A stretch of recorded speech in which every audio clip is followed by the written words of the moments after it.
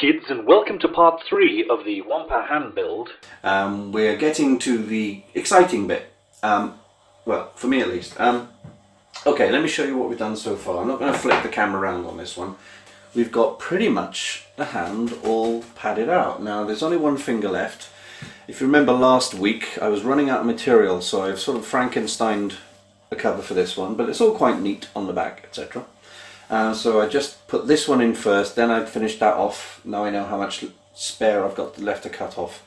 Um, I don't need to do too much about here because there's going to be fur here. I just realised, I was thinking, oh, I might need cloth all the way down here. No, I won't. There's going to be fur.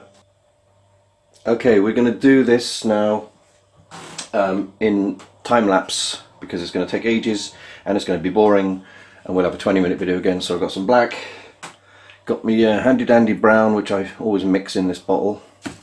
That's good. Uh, got some white just in case I need it. And uh, got a little mixing container, but that may be rubbish. So I have a lovely spiced balsamic chutney jar. This was lovely stuff, by the way. This is Morrison's. Mmm, it's like Branston pickle for posh people. Right, okay, so um, I'm going to put some water in there and mix the paint quite thin so it's not thick. Obviously thin is not thick. And we'll see where how it goes from there. So let's go time-lapse mode eh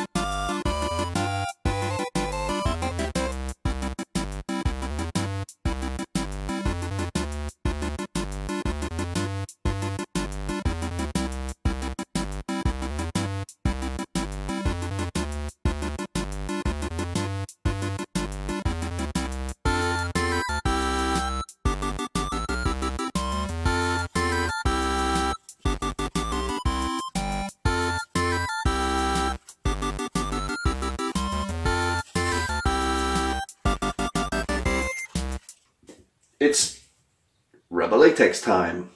Now rubber latex comes in bottles like this, you can see it's going pink because it reacts with the air. Also, uh, rubber latex is this, Copydex glue, which is horrible sticky. Eh. And if you've ever smelt this stuff before, you're one of the lucky ones. This actually stinks like um, ammonia. It's got that really sort of strong wee smell to it. I've got a very old nasty brush um, that I can use and I'm not going to use going to just dig straight into the latex rubber. So I think I need to put this in a container. This will do. And here comes the smell. Uh, I may have to go into time-lapse mode for this one. So as you see, it actually looks like very milky. Milky, milky. Um, and it looks like double cream. Great stuff, but it stinks. So far, not stinking too much. So, just checking where we are on a camera. Okay, let's um, let's do some time lapse then, shall we? Ready, steady, go!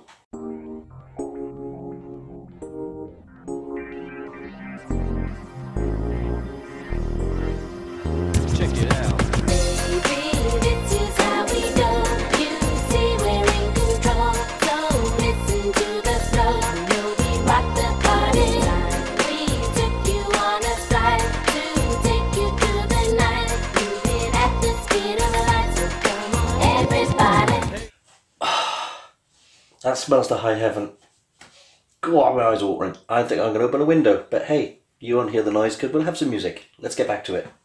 Everybody, Hey, hey, ho, ho. Flow. Debbie B. Check out the rhyme. Be fine. Know what I'm saying? Ain't no delaying. That's me. Uh-uh. Hang on tight. Speed of light, come on. baby,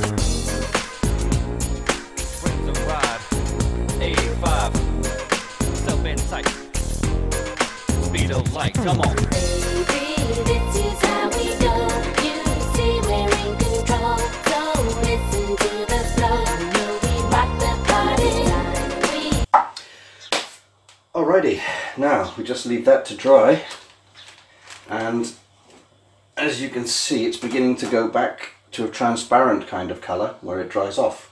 Obviously thicker it is the whiter it is but it will dry off at some point and we can see what it looks like. And um, I've painted all the way down to here even though this much will be covered by fur um, just to seal off some of the uh, material. Uh, it's drying off nicely. I'm hoping all this whiteness will disappear, and I think it will because it's beginning to on the fingers up here and some of the darker areas. Um, so I'm going to leave that probably overnight now before I do anything else to it. Um, and once that's done, we turn over and then we start looking at padding out the back of the hand a little bit, and then we get the fur on, and then we're pretty much done. Now, I think you'll agree that looks lovely. So what, what I basically did was water down some black and some brown paint and I basically went in all the all the recesses here and here and especially around the fingertips. Right now can you see, me just show you, see that sort of white area there? That's kind of what it was like all over. It had this kind of slightly, so I can find another piece, you could just see a kind of white, bubbly, kind of frothy texture there. That's kind of what was all over. And it wasn't bad. It did actually look like this hand had been stuck in the snow and it was all kind of slightly frosty. Okay, let's see what we're going to do next. Alrighty, so the next thing I thought I'd do is make a nice cow pat out of Dacron and latex rubber. Actually what this is, is a plug to go in the end of the stump of the arm. I had a bit of uh, Dacron and quilt edging left over, so I rolled it into a spiral as you can see. Um, glued it all together using bits of Copydex, which is this, and obviously this is latex glue anyway, it's just latex, but it's this is going off, so I may as well use it up. It's actually very thick. It shouldn't be this thick, but it's going off as I said, so I'm not going to use it for much else. So I'm just basically going to coat this entire thing. As you can see, it's brown when it dries and white when it's uh, still wet. And I'm going to coat this all over and that's going to leave a nasty looking flat-ish cowpat stump kind of arrangement um, which I'm going to stick into the end of the arm once I've got the fur on the front and the back. I'll shake that up a bit. Ugh. and uh, yeah that should be an interesting looking random thing. It's about the right size and shape um, the thing about latex is you can't put a pile on at once. You can't like pour it into a massive mold. If you wanted, for example, say I wanted to fill that up with latex and have it go solid, you you do what's called uh, slush casting. If that was a mold, you pour the latex in, swish it around, slush it around, hence the name, and then pour it back out. And then you pour a bit more in, swish it around, wait for it to go off, pour it out. So you do it, you build it up in layers. Now that's how latex works. So same kind of theory with this. Paint this on thinly, wait for it to go off, paint a bit more on. Because I'm a bit of a moron. There we go. That'll do for now.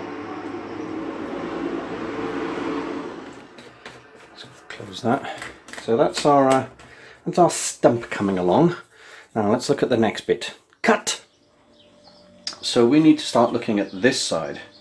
Um, like I say, we've still got wires to trying to strengthen the fingers. Hopefully, it'll keep a bit of a, a curve to them. And I need to start working out some padding because if I just put the fur on here, it'll be very flat.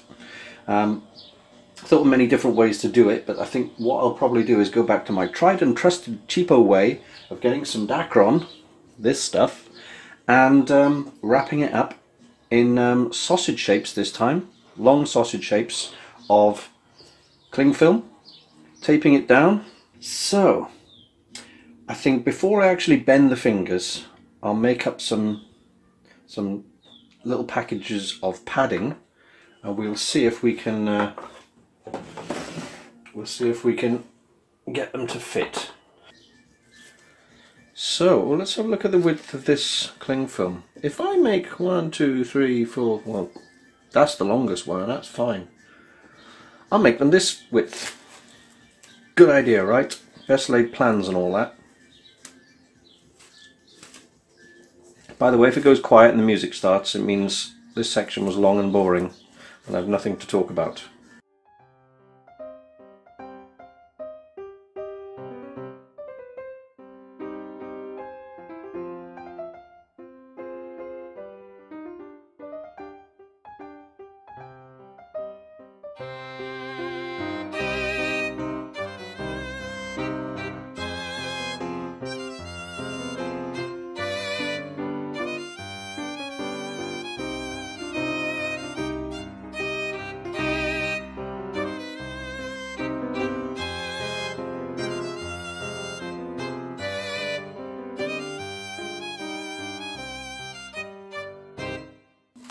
So, there's one. We need to make more. At least we know the width of the whole cling film's working, right? I will make one more and then I might do a jump cut to next stage because you know there's only so many times you can see somebody fanning around with uh, cling film and Dacron. Right, let's bend the bend the fingers into position. Here we go.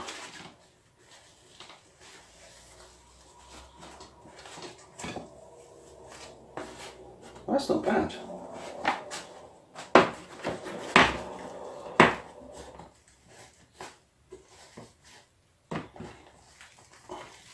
The wire's not super strong as I thought it'd be because the foam is actually fighting it a little bit.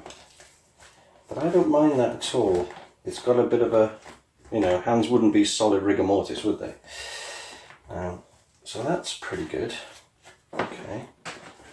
And the thumb can go in like that. Alrighty. Not too bad. Ah, it does look nicer now it's like this. Okay. So I need to sit this up on something, I think. What can I use? What can I use? I use what I always use, is that. Oh, well. Do you know what? I will use this. Good old talkie toaster.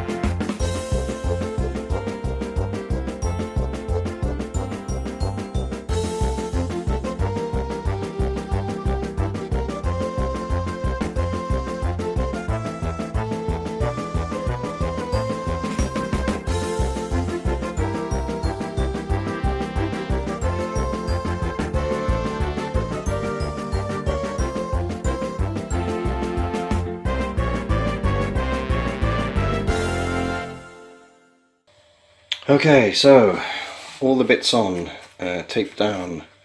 Let's try and get this up in position. There we go. See, it's still not heavy, it weighs almost nothing, it's just the weight of the claws which is the heaviest bit. So there we go. Um, we're going to put more padding here and obviously more padding down here. Then we put the horrible stump on. I don't know if I showed you the stump. I think I did. That's the problem with doing videos over the course of a week that you kind of you forget what you've done. But that looks nice and gruesome. Cool. All right, so there we go. Wait for all that to dry off, um, and then we put a bit more padding here and here. And I think that may be in the next video. All right. Apologies if I get in the way of the camera. But like I said, I wasn't even expecting to film this because I'm quite terrified about how it might turn out. And uh, I don't really want to capture any failures on camera, but it's all part of the plan. It's not all part of the plan. It's all part of the process. I don't, you don't plan mistakes, but if they do happen, you learn to fix them. So, E6000, running out of glue. Um, I'm going to have to order some more very, very soon. Don't think I've got enough to finish the entire hand here, so I will order some.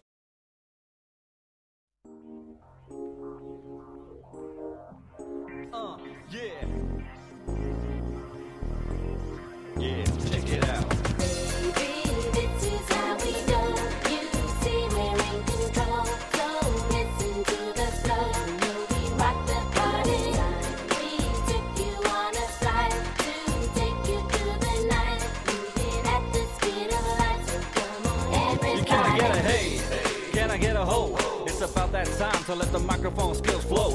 And worry about a thing tonight, cause Debbie B's on the track, making sure that you're feeling alright. It's all planned. Check out the rhyme as you move to the groove. I'ma prove that it's all gonna be fine. Never mind the bad vibes, know what I'm saying? The party's in effect, ain't no delaying. Rhapsody, that's me. New York or maybe LA, uh uh, it's the UK. But that's okay, you better hang on tight. We gonna. There we go. So that's all the gluing we're to do.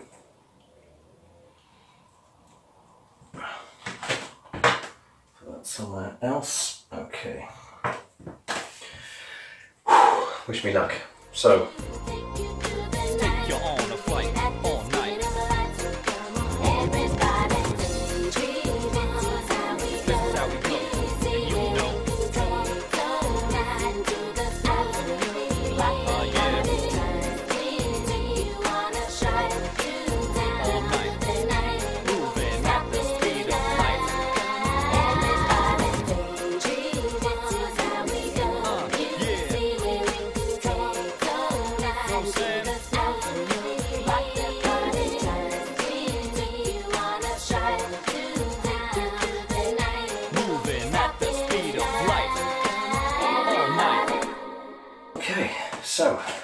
got to start cutting up here to glue the inside of this finger and then the inside of the middle finger, and we keep going. Um, I'm liking that. So far, so good. Okay, so all the pins are taken out from there all the way up to here and I've pinned this side. Now all these bands at the moment are holding the very edge. I've trimmed off the fur about 10 mil and I've glued right across the edge and the bands are holding them in position on both sides inside and out while the glue dries. So I've got to go really gently with it. Basically I'm putting a tiny bit of glue on the end of this spreading it in there like like butter on bread. Fold this up, put the bands over it, leave it for a few hours. And that's one finger, or at least from here all the way around here, done up to here. And I'm going to do the same with them all. Um, I've trimmed off all the excess. That was hanging off here, off the end. So I've trimmed off the excess. So all I've got to do, oop, you can't see it. I've got to glue this end around the nail, nail, around the claw. I bought myself another cushion cover because I'm not convinced I'll have enough fur to do all I need because it needs to go around the wrist. You'll see, got to get some coming over here, something like that. You know, and obviously the other side. So I've got one, two and a third one just to do the last finger. So I think we'll be okay. After a good few days of uh, pinning and gluing and gluing and pinning, um, we have the uh, fingers wrapped in uh, cling film to try and keep the fur away from the other finger that I'm working on. We've got all the way down to, oh there's elastic band on there, that can come off. I put some bands on to keep the whole thing in place. Um, we've got all the fingers pretty much covered. Um, as you can see some pins are left on here. Let's get the fur up. You see how this fur gets in the way? So this is glued all the way up here and I do move the fingers around just so I can kind of see what's going on in here. But as you can see, as you can't see, as you can see here, I haven't yet finished this bit here, so this can fold back. You see? Uh, so that can fold back, so I'm going to get some glue all the way into here, trim a bit of this off, and hold it down, pin it back, and put some bands around it. Uh, this side is nearly done, just needs a little trim, and we can just trim some of the fur off here um, just to bring it back to show the claw a little bit more so that's going to be trimmed and, and banded. Um, but we're getting all the way up to here. It's stump time. Did a pile of stuffing in here loads of extra stuffing. Um, put some more latex around the edge. Let's see if we can uh, stick that on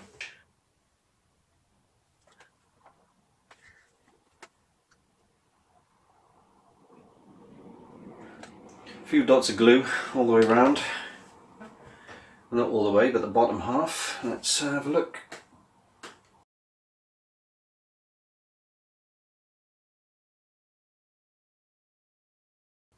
I know. Move that out of the way. Just lean it up against the wall.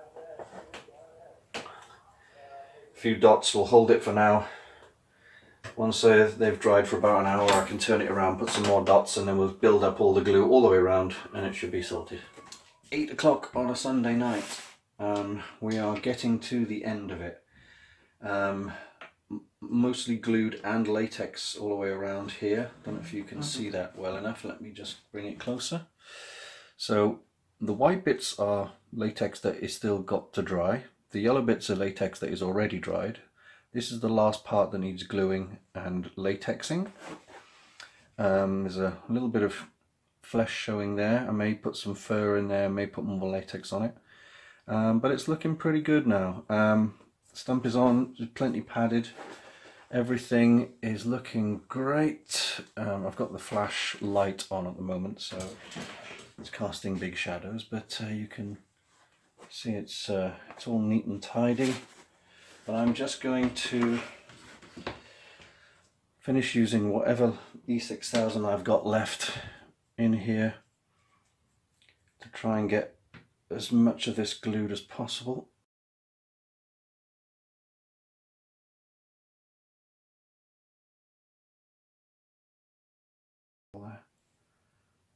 Get some plenty, plenty glue in there.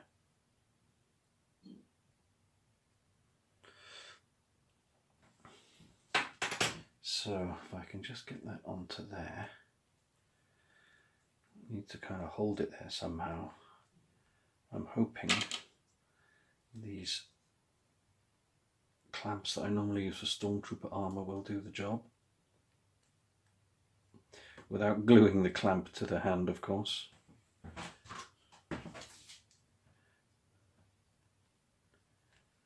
I think that'll be good enough. I think that will hold it. Monday morning. We're there. Sorry this video has been incredibly long, but I wanted to squeeze it all into one final video, then drag it on. We're done. Time for the big reveal of the prop. There we go. One giant wampa hand. Uh, let's give you some close-ups. Uh, let's try and pose these fingers. Yeah, they still bend a little bit. They bend back both ways, but generally all very good. You know, uh, I'm very happy with the way the furs sort of come out. Um, nasty, scary stump. I'm going to put a little more latex around the edges here just to sort of strengthen it so it doesn't come off. I don't think it will. It's on there pretty tight. Um, so yeah, here we go. Um, taught me a load of things, made me more familiar with uh, using fur and latex and certain glues. I've got through uh, two tubes of E6000 and uh, half a bottle of latex, uh, three cushion covers, a t-shirt, and a couple of uh, lumps of uh, Super Sculpey, and some paint, and some EVA foam, and some pins, and a lot of Dacron for padding.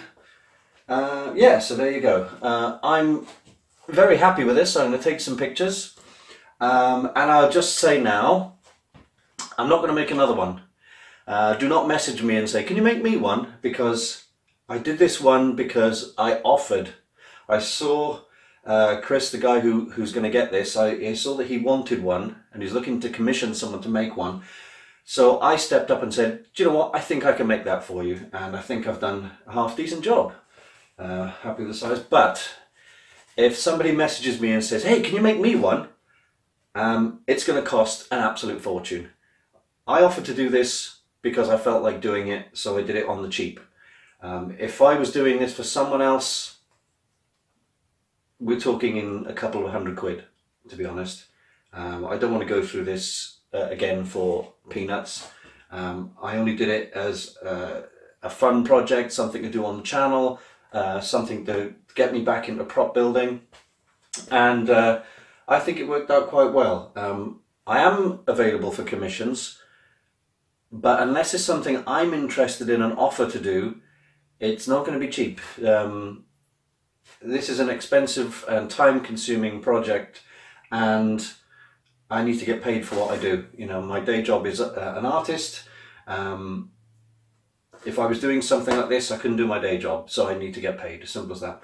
Anyway, I hope you've enjoyed the nine weeks worth of work. I'm going to find a way of getting this in a box now. I can't fold it up as much as I thought I could. Um, and get this over to the recipient. Uh, I haven't trimmed much fur off the uh, fingers here to reveal the claws. Um, there is a little bit more trimmed off the thumb, so you can see that one. It's been snipped. But I'll leave that to the recipient to trim if, as they see fit or leave it. And dirty down the fur if they want to. But it's a nice off-white cream colour anyway. So there you go. Um, one uh, trial and error, one per paw, uh, done in about nine weeks. Um, could have been done quicker, but you know, like I say, life gets in the way. And there you have it. Hope you like it, guys. Um, that's it for this week. And uh, take care now. Bye bye then.